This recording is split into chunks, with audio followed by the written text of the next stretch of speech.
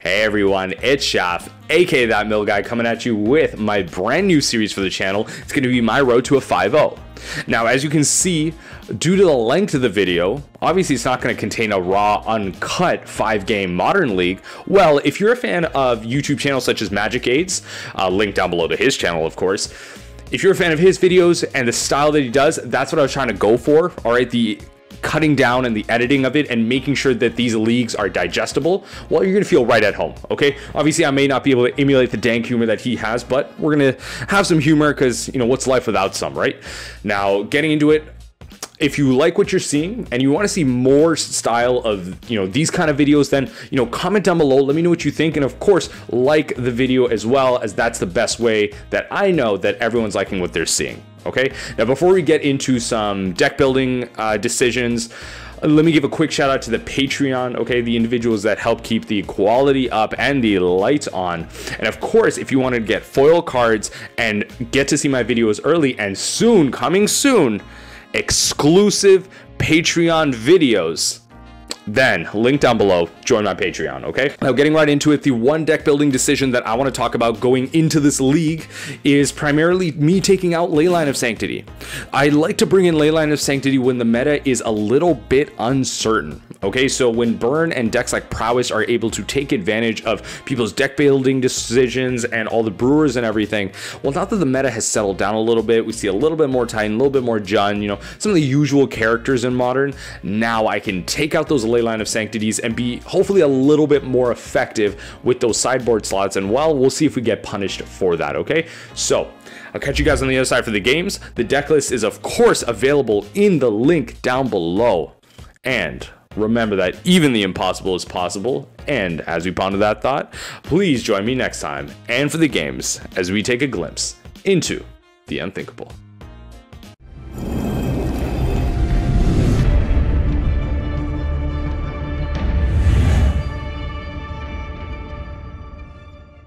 So going into game one, we look at our hand, we look at our seven, our opponent plays first, and we'll take the risk and we'll play. We're playing into the blind. Keep. Ooh, a fetch. Let's go, boy. Archive Trap reveals some very interesting things here. I think we're gonna surgical Wrenn and 6. Looking at their deck, they have no more Wrenn and 6s, but they have Blood Moons, they have Ensnaring Bridges, and they have Chandra. So this looks like some type of prison list. We play Polluted Delta because we're tired of drawing lands. They play a Bloodstained Mire and Inquisition us. I don't know if Visions was the correct pick here, but we'll fetch and pass the turn. Just hold on, they're doing something. No, they didn't do anything at all. We'll just fetch and pass the turn. We play an island and feel pretty happy about the Mesmeric Orb we just drew. So they pass the turn, we get back to resolving some orb triggers. We draw a really ineffective Crypt Incursion, but we have to expect that they may play Blood Moon. So what we're going to do, we're going to play the Oboro in case we get the opportunity to play Visions. We play a Blood Crypt untapped. Karn the Great Creator. Engineered Explosives is pretty correct here. I was thinking maybe Trinisphere. We play a Swamp, pass the turn as we're hoping to cast Visions on their upkeep. In terms of cards that we want, Surgical is going to go in the graveyard, Hedron Crab stays on top. Visions draws us some beautiful stuff. They get a Witchbane Orb. It was probably more correct for them to play the Witchbane Orb first. We play a Hedron Crab. We feel to ruin them to oblivion. Oh, what? No! We cling to dust the blood moon to get something. All right, all right. And alas, we don't draw an archive trap, so we pass the turn and wait for them to resolve the Witchbane Orb. They fetch with Verdant Catacombs, they draw with Arcum's Astral, and there it is. Yep, he's got a clock. Back on our turn, we play Shelldock. Shelldock finds visions of beyond. And then we play our Mesmeric Orb and just pray. Oh, for some reason it's our turn again and they did nothing. We opt to pass the turn and hold up Cling to Dust. Karn pluses on Mesmeric Orb. All right, in response to that, cast Vision. Uh, ultimately, they play another Karn. We play a Hedron Crab. We collected Brutality our own Hedron Crab in hopes of Crypt Incursioning ourselves. Now that I'm thinking about this, the more they uptick on the Orb, the more chances we have to actually kill this thing. So it's not actually that bad. Here, we're actually hoping to draw a Fatal Push, because a Fatal Push is actually lethal here. Alas, no Fatal Push. Our opponent draws with their Astrolabe. In response to the Thought Thoughtseize, we might as well gain some life. And surgical away the ensnaring bridges that they may or may not have left. Ah, they're both in their hand. So our opponent tutors. Welding Jar. Oh, right. Oh, yeah, there it is. There's the bolt. Going into the second game, our hopes aren't high, so we take out a bunch of subpar cards and bring in a bunch of less subpar cards. I would love to be on the play. Sure, I'll keep it just on the basis that it has removal and interaction. Darkslick Shores, Crab, Bolts the damn Crab. Definitely feel like I need to hold up some form of interaction for a potential Blood Moon that's coming. Regardless, I counter the Wrenn and 6, Cling to Dust my own Spell Pierce so I have enough cards in their yard so that I can counter the Blood Moon next turn. Well, we're not here to cast Glimpse, we're here to stop Blood Moon. Oh, F off. We play Darkslick Shores, cast our Glimpse because we have nothing better to do, and hold up Fatal Push. Yep, that's going to be concede. These are exactly why we need to be splitting up the leagues into a competitive and a more casual league. This merging of the leagues is exactly why nonsense like this is allowed to be facing me. Going into game two, I'm hoping that we can play something a little bit more meta. So we're on the play. This hand is so close. This hand is much better, so we keep and we drop the Watery Grave. Is This is an Urza list. Fetch on our end step. All right, Surgical's pretty good, so let's see what our opponent is playing. Bant Control. Oh my god. Uh, on their draw step, we're going to Surgical the Force of Negation. We take out two forces from their deck. We look at the rest of their list, look at the one Jace in their hand, and we cry a little. Those don't look like Field of Ruin targets. Take the all too concerning Archmage's Charm and pass the turn. God, it's Astrolabe Tron, value engines. Well, this is pretty useless, so let's just glimpse them. Our opponent decides to play a giant Uro instead of casting Jace, and I for one give my opponent a hands off for being rather ballsy. Well, I can't Field to Ruin anything, so play the land and play the bridge. Yep, there's the win condition. The only hope I have on this Fate Seal is if he bottoms the card, puts the card on top of the damn library, and that literally just wants to make me concede. Going into game two, we're going to take out subpar cards for some less subpar and some really good cards. I would love to play first. This hand is doo-doo. This hand is better. I played my Watery Grave tapped because I don't think countering an Arcum's Astrolabe is how I'm going to win this game. Predictable. Trying to drown is rather useless here, but we got Glimpse at least. Hey, we got rid of a Goyf and a couple of counter spells. Back on our turn, we draw Trap, which I'm pretty happy about. We have all types of interactions, so I'm really hoping they trigger this trap. Our opponent opts to do some nonsense at the end of the turn, but we'll let it pass. The Quaddle swings in, and I regret not countering that Astrolabe more and more. I think we have to drown in the Loch this. I have a really good feeling that this is about to get Force of Negation. Alright, the Mesmeric Orb sticks, and hopefully this can ride us to victory. Mill, mill, mill! Opponent plays Ghost Quarters, and they're making their land drops. They play Jace, and I completely forget that we are interaction down. I mean, at least the Mesmeric Orb punishes them. They Fate Seal us again. They leave the card on top of our library, which makes me sad. At this point, we want to Echoing Truth the Jace. Moments like this make me really sad, and uh... So we'll resolve our Mesmeric Orb again, and uh, again, hope it rides us to victory. And these Fate Seals are brutal. They leave the card on top of our library, which just means it's going to be something they want us to mill. But huzzah! I have Visions of Beyond. We play a land and attempt to resolve a glimpse. Oh, it works. Looks like our opponent literally just wants Ultimate Jace to win here. Ooh, puts the card on the bottom of our library and destroys all of our Hedron Crabs. Really not a fan of that. Well, there you go, kids. I drew absolutely nothing. And on to game three. Going into game three, I'm starting to consider the viability of Mill in general. Our opponent starts the game with their seven, and maybe them starting the game is going to finally break the curse because maybe being on the play isn't what we're meant to do.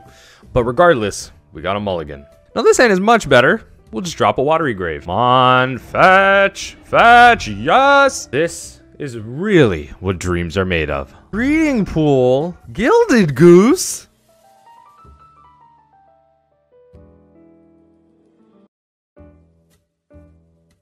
Sorry, everyone. That, that was just me coming back to make sure I'm, I'm in the right time zone and right time. Just to make sure that Oko is still banned. But, alright, guess we'll respond to this.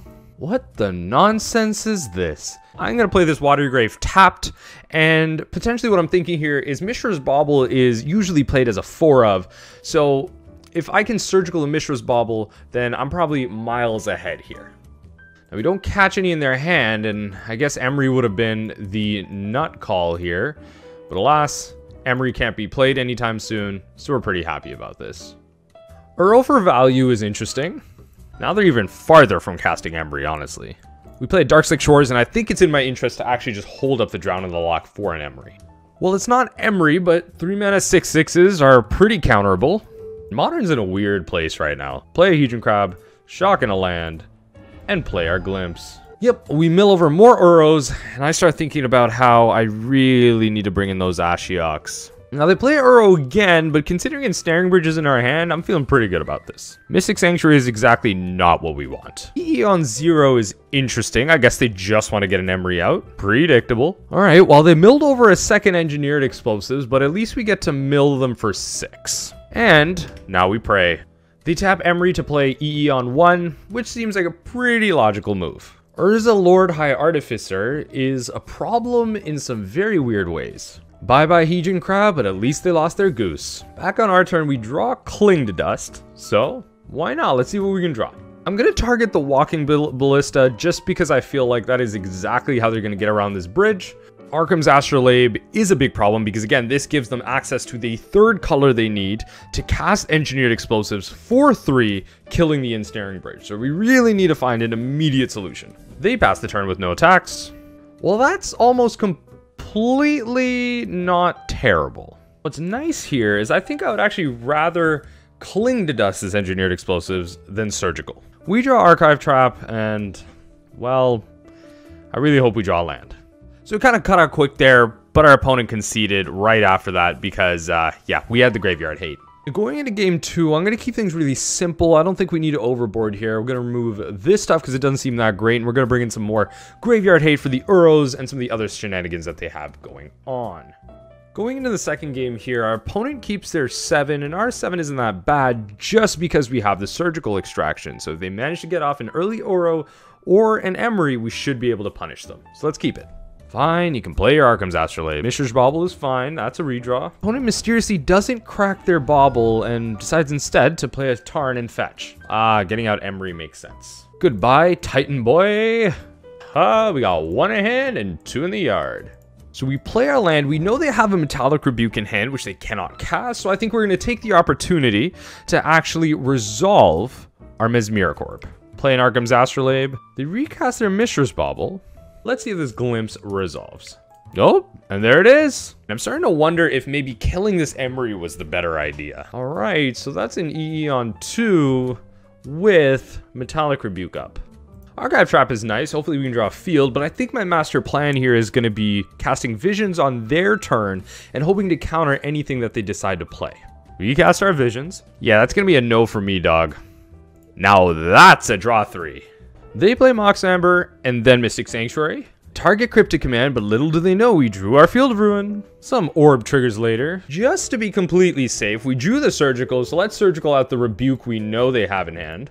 Yoink and yoink. Alright boys, finally we get our W, so let's sequence this properly. Step 1, we Field of Ruin the Mystic Sanctuary. Step 2, we resolve Archive Trap. Step 3, we resolve Ashiok Dream Render. And our opponent concedes. Now, you really could have done that in any order. They had no real way to respond to any of that. That game was over. But hey, it's nice to finally get a W. Going into game four, coming fresh off a win, but another thing that's great is, well, we're not on the play anymore. So hey, we've lost on the play and we've won on the draw. So let's keep it going. We'll keep it. Okay, now this scares me. Yep, nothing changed, still getting fatal pushed. Wall of Roots? Okay, see, like, I want to hold up mana so that we could potentially triple Archive Trap, but I also know the chances of that happening are so small. So I really just have to go for it with the Glimpse. What the actual nonsense am I looking at right now? Oh god, what I would give to just draw a Field of Ruin next turn. Well, it's not a Field of Ruin, but Hopefully at some point they search the library. So we drown the Yawgmoth because this seems like some type of green-black value train list, and we pass a turn and hope that maybe they're not a budget list, and they fetch and search their damn library. Well, that's not a fetch land. What? Well, I mean, to be fair, they, they just searched their library, so I can't be too mad at this. Yoink. Second yoink. All right, well, here's the Visions of Beyond absolutely ending this game. Well, I mean, I guess that's technically ending this game, so let's do it. Man, I'm gonna be honest here. Crypt Incursion looks insane against this matchup. All right, well, we play an island. Step two, we mission briefing. Our opponent didn't even want to see us go through it, but we cast Glimpse and we win the game. So let's go on to game two here. Going into this next matchup, we're going to shave some overcosted removal and bad utility for some undercosted removal and some graveyard hate, and we'll see what we can do from there. Now, this might be a greedy key, but our opponent is mulliganing. We have multiple opportunities to find three lands, and I feel like if we resolve Ashiok, we really win this game, so let's keep it. Honestly, never punished. So let's just play our Darkslick Shores, our Hedron Crabs, and laugh all the way to the bank. Yikes, haste and undying. So I'm to play this land, get them to mill some cards. Then my idea is I'm to hold up the Fatal Push for whatever they may want to Eldritch Evolution or Chord for. Uh, so they do play fetches. We definitely will be Fatal Pushing one of these. Oh, never punished, never punished play Mesmeric Orb, and essentially cantrip at the end of their turn, setting up for a massive Crypt Incursion, followed by an Ensnaring Bridge, and or an Ashiok. What the nonsense? Is that chord for zero? What? Are we playing Legacy? I really hope they don't have some dumb overrun effect. Yawgmoth is actually perfectly fine. As promised, we draw with Visions. Before we pass things off though, I think it's going to be in our benefit to surgical something out of the way. So let's surgical away the once upon a time that is likely a four of in the deck. Wow, okay, well, two hits is two hits. Didn't look like they did much. They brought in Veil and Damping Spheres, so we should be good here. Okay, so I'm going to be honest. The only thing that we get got by here is Veil of Summer. They have one Veil left in their deck. So I think it's better, by odds, to let them untap and then cast our Crypt. I should specify why that matters, just because they can actually sacrifice creatures to put counter minus one, minus one counters on other creatures and draw cards. So they can draw the Veil. All right, kill my crab. So we actually milled over the last Veil, so this is going to be perfectly safe. 31 life is beautiful. Now, a land would have been perfect to draw here, but Cling to Dust isn't the worst thing in the world. So let's play the Ensnaring Bridge and hide behind it. They swing in with what they can because they recognize the urgency of the situation. Alright, a little bit of tutoring action. Geralf's Messenger is an interesting piece, actually. That's not a land. Regardless, we resolve Ashiok. Now, as they draw their last card, I think to myself that there's likely no conceivable way that they actually can get me from 15 to 0. So let's see what happens. And alas, I was correct. All right, we're 2-2 and we can't 5-0. Let's see if we can get our money back. All right, folks, we finally did it. We're in game 5. Now, we have lost the die roll, which has notably told us that we will likely win this game thanks to our luck, but unfortunately, we cannot keep this hand, but our opponent has kept their 7, so we mulligan. Now, this hand is much better. It is unfortunately mana high, but we'll drop a swamp, and we'll go from there. Oh my god, I hate these Urza decks so, so, so much, but at least it's a favored matchup. What in the nonsense is this? I mean, I guess it's an egg. Lotus Bloom enters the Exiles. You know what? I liked this deck when it was just a combo shell with Mox Opal, okay? It was much easier to deal with. Notably, they did play Mystic Sanctuary tap, which tells me the rest of the cards in their hand are just non-lands. Tapping out the Ghost Quarters for Chromatic Sphere makes me super happy because now we can Field of Ruin the quarters. Now the idea is we're going to Field of Ruin here just in case they Ghost Quarter our Field of Ruin target to prevent us from forcing anybody to search their library. So let's make that happen. We get a Swamp to get an untapped Black Source for our Double Glimpse next turn. Now this is a real pile of cards. Man, it looks like there's no counter magic in this deck, but Hurkyl's Recall or Rebuild would be insane against this deck. We can play the Hedron Crab next turn. I think it's more in our favor to just aggressively mill them out. First glimpse, second glimpse. so I just noticed the Fate's Fetters and the second Sunrise memes. So it looks like some form of a Storm deck. Now this is a really interesting play. Why are they doing this? Okay. Okay. Alright, this looks like a giant Fate's Fetters turn, but to what end? They're searching the library for an artifact, but to what end? Okay, Faith's Reward is fine. Well, look, I'm just gonna pass through. We're gonna skip through this, and I'm gonna let you know if I lose or not at the end of this nonsense, okay? Ah, okay, everyone, we're back. So essentially, they had one last expansion explosion in their hand. They looped a bunch of artifacts for infinite mana, and they just got there in the end. Okay, so there wasn't much we're doing from there, especially just being, you know, empty-handed, whatever it is. But we have a lot of ways to deal with this deck. Going into the next game, we're going to take out cards that are a little bit too slow, or just don't do anything at all, and bring in all the graveyard hate and interaction that we can think of. All right, bada bing, bada boom, we're on the play. This hand is super bad. This hand is a little bit better, so we're gonna drop the Drown of the Loch. So our opponent exiles a Lotus Bloom and draws a card with Arcum's Astrolabe. They are already up to their shenanigans. Mill our opponent for three. Now those are some surgical targets.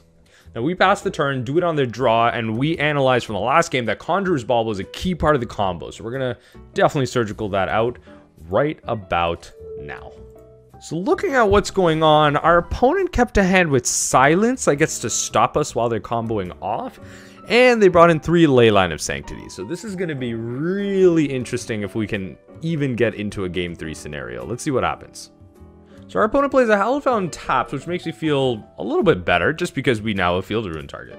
Now my opponent casting Silence on this turn really scares me, but I think we just gotta let it go and hope for it. I don't think there's really much else that we're gonna be able to do. So let's let him have it. Okay, everyone, I'm just going to stop this combat halfway through just because our opponent has assembled essentially a Chromatic Star, multiple mana sources, a Mystic Sanctuary returning their Faith's Reward, blah blah blah exactly like last turn. They're going to get to their deterministic win. They have casting silence, so we cannot respond. So alas, those are the end of our games. Now, going into it as a whole, I'm not too upset, honestly. I, am really not. We didn't face a lot of meta decks, and considering what the meta is right now, especially at the tournament level and everything, if we were to face up against that, we would have a lot better time. All these random jank decks running around the MTGO leagues, that's exactly what happens. You run up against them, and it's what happened when you consolidated both the casual and the competitive leagues. But ah, blah, blah, blah. I'm being a sourpuss right now, but it's okay. Remember to catch me next time on the next video. Other than that, have a good night, everyone.